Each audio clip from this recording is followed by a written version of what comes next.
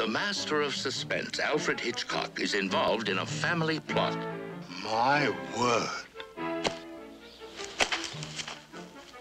What a grave insult. Please don't take it to heart. We have some live ones we'd like you to meet. There's a medium in the family plot. She's a fake. There's a thief in the family plot. Absolutely perfect. There's a kidnapper in the family plot. I bet that thing isn't even loaded.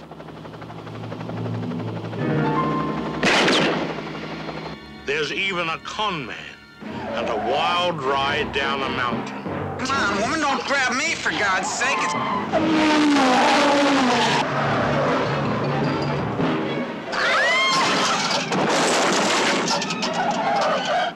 But who is buried in the family plot?